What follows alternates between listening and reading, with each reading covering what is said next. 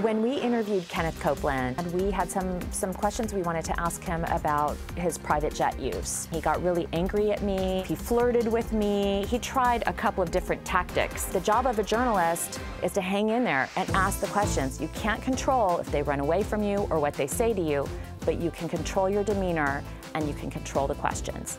And that's what I did. I'm Lisa Guerrero, and today I'm unfiltered. If I could describe who I am in just a few words, it would be I'm a journalist, a host, an activist, and basically I chase bad guys.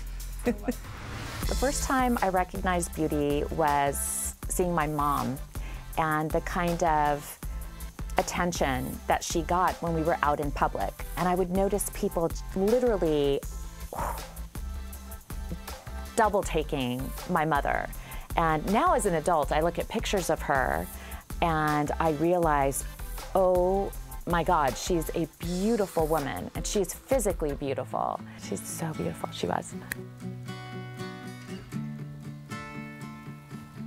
I was born in Chicago, and my dad at the time was working for the Salvation Army as a social worker and he married my mom, who was an immigrant from Chile.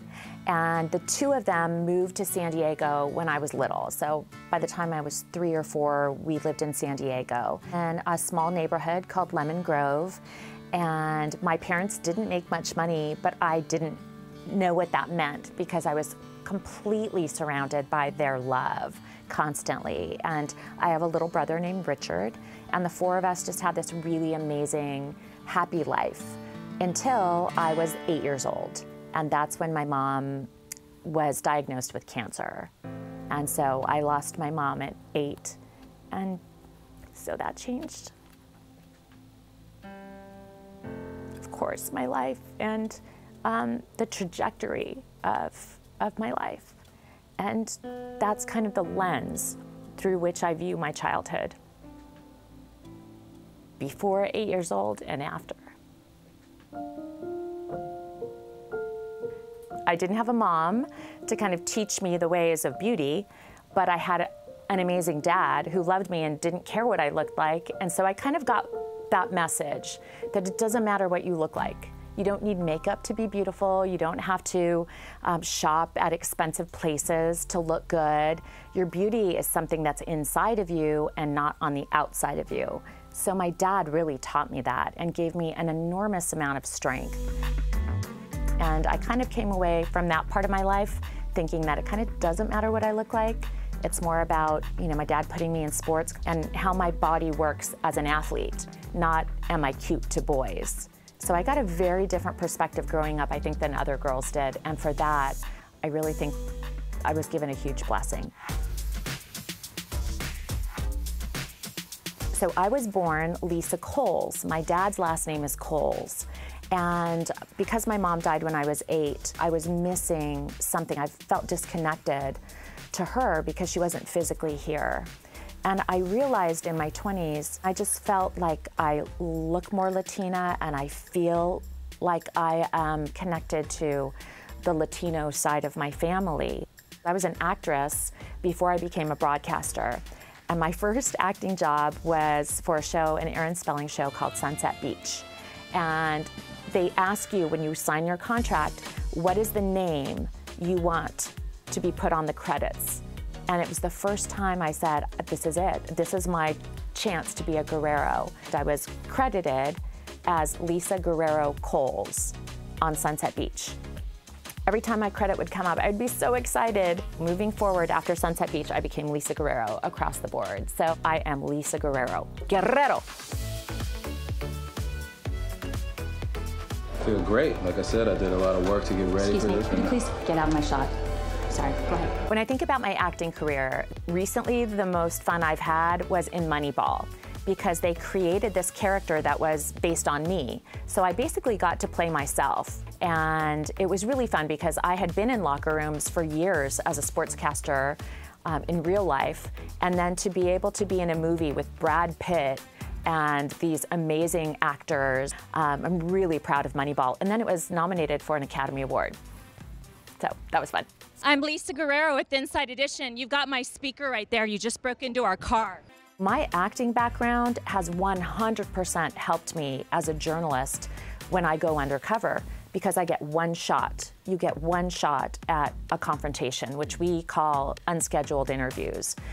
You don't get to say, oh, by the way, I said that wrong. Can I say that again? Because the bad guy will already be down the block, or then the jig is up. So it's really important for me to get it right the first time. People ask me all the time, how are you not recognized? So when we go undercover, there's a couple weird things psychologically, you are not expecting me to come into your life or your business. Even if you watch me on Inside Edition, there's no way you're gonna think that you're actually gonna see somebody on TV in your real life. So, first of all, just the element of surprise helps me. If I'm going undercover, you'll see that I, I'll try to like change my hair a little bit. I'll wear glasses. Once in a while, I've worn a wig. Um, one time I wore a latex mask as an old lady. So I do use disguises once in a while, but I think what I try to do is just put together a character that people aren't expecting to see in real life. So I have been recognized a couple of times, even once with a wig on. It, it was like a blonde wig, a bob. I looked like a real housewife of Orange County. And this dude still recognized me. He's like, you're Lisa Guerrero, aren't you? And it's my producer and I were like, really? How do you recognize me like this? I, I swear to God, I look like a real housewife of Orange County. I look like I was to pick up the kids in a minivan from their private school. And he recognized me. It was weird. You said that you don't like to fly commercial because you don't want to get into a tube with a bunch of demons. Do you really believe that human beings are demons? No, I do not. And don't you ever say I did. When we interviewed Kenneth Copeland for a story we did on private jets and donations to these televangelists, we worked so hard to try to get him. He really tries to avoid doing any kind of interview with mainstream media. And so it's really hard to get him. Of course, we had called beforehand to try to get a sit down interview. Um, he said no, his people would not let him do a sit down interview with us. So that's when we go to them. And in this case, we went to Branson, Missouri. We knew he was going to be there to do um, some preaching and some seminars. And we had some, some questions we wanted to ask him about his private jet use.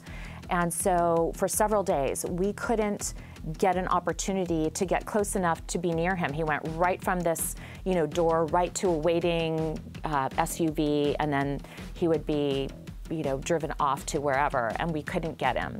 Finally, on the third day, we found out that he was showing up to do this seminar, and we found out a place that would be close enough that when he came out of the door, I would run up and ask him for an interview. How are you, sir? We'd just like to ask you about why you don't want to fly commercial. Why have you said that you won't fly commercial? You said that it's like getting into a tube with a bunch of demons. And that's what we did on the very last day. And here's what's really funny about that interview. I hadn't taken a shower in a couple of days because we had been on surveillance for hours and hours and hours. And it was time to wash my hair. My producer said, "Okay, this morning's a good time to do it because we don't we don't know where he is. We don't think he's going to show up till tonight. So go back to your hotel, take a shower, do whatever you need to do, rest." I get back to my hotel, you guys. I'm in the shower and I hear the phone ring. And I'm like, there's no way. There's no way. I reach my hand out, and it's my producer going, He's here. You need to get back right now. Get in the car, come right. You need to be here in five minutes. Come back. So I've got a full head of hair, like wet. I jump out of the shower. I grab a sweatshirt and my wet hair I put back in a ponytail, which I never do on camera for this. A half a billion people have seen it. Billion with a B. I'm almost unrecognizable because I hardly have any makeup on and my hair is pulled back in this low ponytail. And on top of this sweatshirt, I just threw on a scarf so you couldn't see I'm wearing a white sweatshirt.